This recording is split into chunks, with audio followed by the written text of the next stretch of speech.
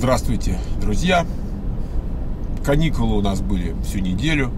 Это значит 7 дней неделя, плюс еще, значит, перед каникулами пару дней выходных, то есть 9 дней. Надо сказать, что серьезный удар по воспоминаниям о работе.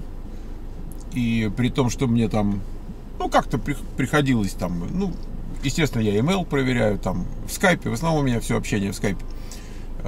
И там референс какие-то там надо было давать. Было все-таки несколько рабочих дней тоже. Но в основном, конечно, тут мы в Санта-Крус, тут мы еще куда-то пошли. Вчера вот мы целый день со Светланой были в Half Moon Bay. Это такой э, городок приморский, ну, в смысле, приокеанский, э, ближе к Сан-Франциско. Вот от Санта-Крус, если смотреть по карте, то он на север, туда ближе к Сан-Франциско. Очень прикольный городок. Мы любили там раньше проводить выходные, эм, пока у нас не появилась дача в Санта-Крус, и, в общем, тогда уже как-то смысл пропал. Но истосковались. И э, тут еще мы захотели устриц, что-то подумали. А знаете, там, если устриц такие небольшие, так среднего размера, то там порция 6 устриц на, там, я не знаю, ну там 50 килокалорий, ну то есть совсем ничего.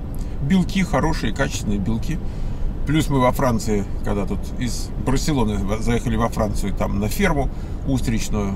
Здесь нам до фермы 2 часа, тут есть у нас тоже. Но что-то подумалось, что далековато будет 2 часа на ферму, поэтому мы уж так просто в ресторанчике. В компании хорошие, вообще все дела. Вот, и вот я еду на работу, я знаю, какое у меня утро и чем я занят, поскольку мне с утра надо, значит, быть на уроке э, у нашего преподавателя – начинающего и как бы посмотреть методически что-то присоветовать. Вот я буду сидеть на уроке по автоматизации, по автоматизированному тестированию. Эм, ну, вот как бы полдня у меня заняты до трех часов. Дальше там будет видно, что получится. Какие-то люди должны прийти с разными делами. Знаете как? Уже, уже там э, позаписались. Ну, это вот первые пару-тройку дней, значит, как-то рассасывается то, что накопилось за каникулы. Дальше уже такая обычная жизнь. Э, начинается рутина такая текущая. Из наших, из моих э, как бы новостей того, что произошло за это время, я договорился с э, преподавателем по ну, так хочется сказать, физкультуре, но это было бы как-то, может быть, упрощенно, ну, тем не менее. Вот, его зовут Юрий а, Спасок-Кукоцкий, он довольно такой известный человек, у него YouTube-канал, там, по-моему, 1300 с лишним, то есть, скажем, вдвое больше, чем у нас. Вот, и такой мужчина серьезный, так вот. А, и он в скайпе, как бы, ну, там, в, онлайне людей тренирует, поэтому я взял вот себе там такую хорошую программу. И мы с ним вот на год, мы с ним будем год этим заниматься. Дальше видно будет, посмотрим. Во всяком случае, а, надо начать. И под это дело я уже вступил, записался. А, записался в клуб спортивный. Ну, тут есть такой, их очень много в Америке, 400 с лишним у них э, э, называется 24 часа там. Как он там, фитнес. Я на самом деле был когда-то вот именно в этом э, учреждении, имел membership много-много-много лет назад. Ну, я не знаю, боюсь соврать, 20, может быть. Давно. Ну, а тут э, у нас прямо возле дома, я, я могу сказать, что пешком там 3 минуты от, от того места, где я живу, ну, 5 пешочком. Вот на машине я уж и вовсе не говорю, там просто 30 секунд. У нас как раз есть тут такой. И он относительно небольшой, и там все, что надо есть. И железяки, и снаряды всевозможные, и бассейн. Вот. И в субботу, что ли, мы записались. Я под это дело, да, в субботу. Вот, я под это дело даже так, у меня такой зуд возник. Мы днем записались, вечером я пошел в бассейн, поплавал там в парной посидел 20 минут. Ну, в общем, как-то вот так хорошо, хорошо. Э, такое ощущение, что у нас там пробочка какая-то возникает. Не то, что пробочка, но вот как-то не очень идет. Сегодня я пораньше, да, я обычно еду на час позже, но сегодня мне надо пораньше, потому что урок начинается в 10, а я вышел вот так, чтобы на него попасть. Да, не спеша идет. Вот это как бы главное событие в моей жизни. Я сейчас буду с этим разбираться. И всегда, когда что-то такое э, происходит, вот, скажем, с диетой, там, пока я был на диете и терял вес, а, мне рассказали, что вот я все не так делаю и мне говорили, надо вот это, и надо вот то, а вот есть такой человек, а вот есть такой человек, вот посмотрите на страницу этого, а посмотрите на страницу того, и так далее, и так далее. И я думаю, надо же, вот э, товарищ не понимает, да, то есть э, я так не могу. Значит, э, если я пойду, смотрите, вот там 20 человек говорят, вы пошли не к тому, пойдите вот к этому. Значит, к какому бы из 20 я не пошел, остальные 19 скажут, что я не то делаю. Вот, поэтому ну, как только до вас вот эта мысль нехитрая дойдет, так сразу вы поймете, насколько э, безрассудным является совет типа вот э, не ходите к этому, ходите к тому. Я уже пришел, я уже за год заплатил за абонемент. Не, не в клубе, а значит, там у тренера, да, то есть я абсолютно, э, что называется, committed, то есть у меня есть commitment, то есть я встал на рельсы, я никуда с них сворачивать не собираюсь. Эм, уж как пойдет, мы увидим. Но так же, как я вот эти три месяца свои э, худел, там по 7 килограмм в месяц, да, там 22 кило за э, три месяца, и мне говорили, что я слишком быстро, и я не спорю, но мне хотелось быстро, я, мне, мне нравилось, что быстро, честно. Я, может, не понимал чего, но, но мне нравилось. Поэтому и сейчас тоже я от одной мысли, что мы сейчас еще вот так еще добавим, я как-то вот э, приободрился. Давайте очечки уберу. Вот. Приободрился, оживился, настроение совершенно другое. Вот. Э, плюс устрицы. Ну, вообще. Так, что тут? Ой, ё-моё. Там еще светофор. Ну, я не знаю, у меня тут выбора нет, я стою. Ладно. Значит, э, э, да, я договорился с э, Юрием, что он будет э, у нас что-то рассказывать тоже, то есть, чтобы вы с ним познакомились. У нас есть специальный плейлист, да, для людей, которые, ну, как бы, занимаются там, здоровым образом жизни, там, диетами, спортом и так далее. Вот Юрий у меня для этого плейлиста, так сказать, задуман тоже. Но это будет наиболее такой известный, может быть, человек а, из, из тех, кто пока, пока у нас был. Вот. А, мы с ним поболтаем. А, он очень, э, как сказать, нормально разговаривает, может, может поговорить. Ну, конечно, во-первых, многие тренеры могут поговорить. Во-вторых, все-таки он блогер, и у него там довольно много сюжетов, он их часто делает. Так далее. У нас еще блогерский такой разговор, вот как с этим, как с тем. Вот. А, то есть мне, например, люди говорят, что у меня а, там вот подписчиков много, а просмотров, значит, на душу подписчицкую немного. А, потому что а, тема иммиграции, она такая, что на всякий случай надо иметь. Вот и поэтому люди записываются, там, подписываются. А сами потом не очень смотрят, это правда. Ну, выборочно смотрят. Эм, а что касается спорта, то спорт не менее важная вещь в жизни людей. Они говорят, о, смотри, мужик, то сюда надо записаться. Ну а дальше уже, конечно, это смотреть надо, что-то делать надо. Как-то вот и получается у него подписчиков вдвое больше, а просмотров примерно столько же, как у нас. Так что вот, я, я очень хорошо понимаю вот это состояние, когда столько народу, думаешь, где же вы? Ну, живу. Вот, ну, все же вот ждет, можно сказать. Да. Такие, такие новости. Так, я, ну, что тут? Нет, такое ощущение, что, знаете, просто трафик. Просто обычный трафик, и вот а, ничего такого не происходит. Ну вот такие, а, такие новости у нас, э, поскольку лето, а летом в школе такой, то, что называется slowdown, замедление. спад, можно так сказать, в э, потоке студентов, эм, то мы сейчас не набираем особо групп. Мы начали две в прошлом месяце, и сейчас мы немножко так затихли. В кон, э, числа 20, по-моему, 23-24 будет группа июля новая. И еще одна новая будет ровно через месяц, там 23-24 августа. Обычно у нас чаще про это все происходит. Вот. И поэтому так немножко жизнь замедляется. Хотя надо сказать, что на августовскую группу записалось уже больше людей, чем, например, на июльскую. Понимаете? Июль не, еще не то время. То есть э, каникулы у детей, значит, поехали туда, поехали сюда, отпуска, я не знаю. В общем, это всегда так, это такой, так, такие сезонные колебания. И все это происходит на фоне того, что очень сильное оживление на рынке.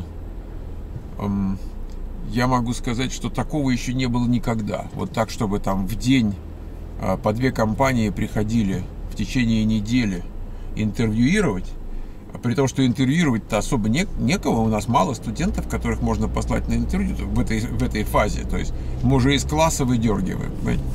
Вообще удивительная проблема. Вот сидит 30 человек, так? И выдергиваются на интервью 5. Остальные 25 э, не все 25 говорят на эту тему, но есть там пару-тройку человек, которые задают вопрос в открытую. Они говорят, а собственно, а почему не я? Ну вот логично, правда? Почему не я? А почему вот этих послали, а меня нет? Хотя я им на первом уроке говорю, что э, если вы такие вопросы будете задавать, то у вас будут неприятности. Но как бы они не могут нас контролировать. Мы свою работу делаем, они должны свою. Самый, самый короткий путь попасть в эти пять, это хорошо учиться. Давайте я камеру поверну. Вот. И никаких там проблем-то нет с попаданием в пятерку. Не хватает людей, которых можно включить в пятерку. Вот, вот проблема. Так вот, эм, да, и, значит, ответ очень простой. Помимо того, что одни, допустим, лучше подготовлены, другие хуже. А ответ такой, что 5 меньше, чем 30. И э, какие бы 5 из 30 не взять, значит, возникнут люди, которые скажут, а что такое, а почему не я? Правда? Вот такие, друзья, трудные моменты в жизни наступают. В общем, наша задача, чтобы все 30 были пристроены. Э, уж в каком порядке это произойдет, значит, вот по-всякому. Вообще, э, когда ты человека посылаешь куда-то, во-первых, есть конкретная спецификация, то есть на какую-то позицию можно послать Васю, а, а на другую позицию именно Васю послать нельзя. Поэтому хочется послать Васю всегда, когда заужены возможности. Потому что Петя, которого всюду можно послать, да, не должен конкурировать с Васей там, да, где у Васи есть шанс. Петя в другом месте будет конкурировать, где у Васи шанса нету. Поэтому как бы мы делаем это все в интересах как бы группы, да, в интересах все, все, всего потока, так сказать, который есть, чтобы все были пристроены. Вот, собственно, и все. И проблема в том, что некого послать. Вот они там, было 6 интервью там вот на той неделе, 6-7. Э, и вот одни и те же там 5-6 человек, а других нету. И вот мы их гоняем там на все эти интервью. Кто-то идет, его берут, кто-то идет, он какого-то опыта набирается. Э, в прохождении интервью, например. Потому что если ты был там на трех-четырех интервью, уже нет новых вопросов. Ты уже не можешь прийти и сказать, вы знаете, вот что-то такое спросили, вот я на этом засыпался, раньше не спрашивали. Такого нет. Все, что тебя спросят, тебя уже спросили. Поэтому единственное, что от человека требуется, чтобы он готовился немножко. Ну вот пошел на интервью, потом сел, записал свои вопросы, записал ответ, который дал. Там пришел ко мне, показал или там по имейлу послал. И мы говорим, делайте это. Но знаете, что они делают? Они вместо того, чтобы написать ответ, который они дали, они берут из наших ресурсов копи, пейст и присылают тот ответ, который должен был бы быть. Да нахрен мне тот, что должен быть, я его сам написал. Ты скажи, что ты ответил, понимаете? Тогда есть возможность подправить. Ну, в общем, такие э, дела. Но я просто чему говорю, что такого оживления, как сейчас, не было никогда. И вот в этот самый момент Значит, студентов не хватает. Но вот, знаете как, обидно-то. Потому что бывают, мест, бывают моменты совсем другие, когда надо бы, вот и ребята есть, и начинаешь обзванивать, спрашивать, не возьмете человечка, хороший человечек, там туда-сюда, может быть, посмотрите на человечка, на хорошего, там еще что-то, вот начинается такое пропихивание, понимаете? А здесь пропихивать не надо, звонят люди, которые когда-то там 5 лет назад кого-то брали, или 10 лет назад кого-то брали. Или сами когда-то закончили, они теперь менеджеры, или там еще что-то вдруг какое-то такое оживление, ну просто ж нет сил. Но а, при этом, при всем, не бей лежачего тоже никому не нужен. Вот меня часто спрашивают и говорят, как же так получается? С одной стороны, значит, вы говорите, что жрет все подряд, а с другой стороны, значит, вот есть люди, которые хотят, вот есть безработные, есть такие, есть сякие. Это правда, но на тех, кто как бы слабоват, не соответствует требованиям рынка, это не распространяется. Не хватает тех, кто что-то может. Тех, кто ничего не может, э, с ними сложнее. То есть э, это отдельный рынок. То есть начинающие – это отдельный рынок, отдельная ниша на рынке. И когда берут начинающего, их тоже берут. Ну вот, пожалуйста, к нам же приходят за, за интернами. Но когда их берут, у людей какие-то свои соображения есть. То есть они хотят помоложе, они хотят таких, чтобы уже с английским. У них выбор ведь есть, понимаете? У них-то выбор есть. И с английским, чтобы соображал. И э, у нас студенты некоторые, они думают, вот он вызубрил чего-то, и вот он в, э, в порядке. Нет, он совершенно не в порядке, потому что люди, которые его берут, они специально задают ему вопросы, чтобы понять, не вызубрил ли он случайно, чтобы понять, понимает ли он, о чем говорит. Потому что вызубрил никому не нужно. Вот, вот ведь фигня какая. Понимаете, вызубривший человек абсолютно не в порядке. Так что, э, не, есть люди, которые даже не вызубрили, это отдельная категория.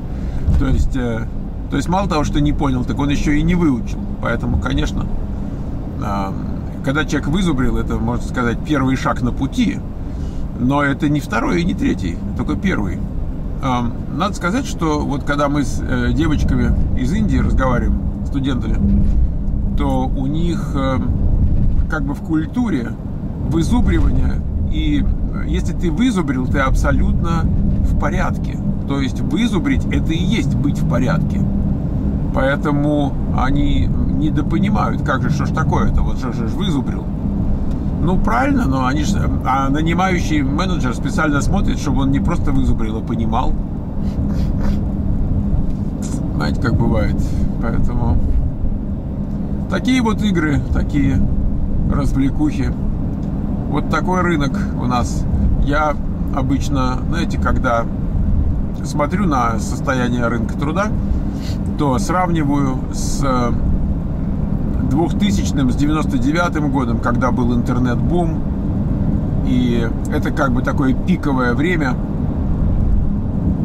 И вот мы всегда с ним сравниваем. Мы говорим, а вот это как тогда, или это хуже, или это лучше. Я хочу сказать, что сейчас намного лучше. То есть не вообще лучше. Оно уже последние там года 2-3 лучше. Но э, здорово лучше вот прямо сейчас, если смотреть на рынок, скажем, для начинающих, это ведь показательный такой рынок, да, он, э, как сказать, э, насколько подъедает снизу. Э, это хороший показатель. Вот очень-очень активный рынок. Но на самом деле мы видим, что те, кто чего-то знает, их тоже не обижают. Сейчас такие деньги платят, что э, просто какие-то умопомрачительные, еще даже по понятиям, скажем, там двух-трех лет назад, э, скажем, программисту столько не платили сколько сейчас платят. Поэтому рынок такой пере, пере, перенасыщенный э, работами в данном случае. И на нем не хватает людей, которые что-то знают. Если бы было достаточно квот на э, рабочие визы, ну, скажем, э, в 98-м, 9-м, 2000-м там квота была 200 а, тысяч. Вот не 65, как сейчас, а 200 тысяч максимально. И сейчас бы эти 200 тысяч выбрали на раз. Вот, э, собственно, вы знаете, что заявок поступает там где-то 1240. То есть даже 200 тысяч квота э, все равно проводили бы какую-то легкую лотерею, там, да, на всех бы не хватило. Поэтому такие вот дела, вот такой рынок. А, хорошо. В общем, еду я на работу. К чему я клоню-то все?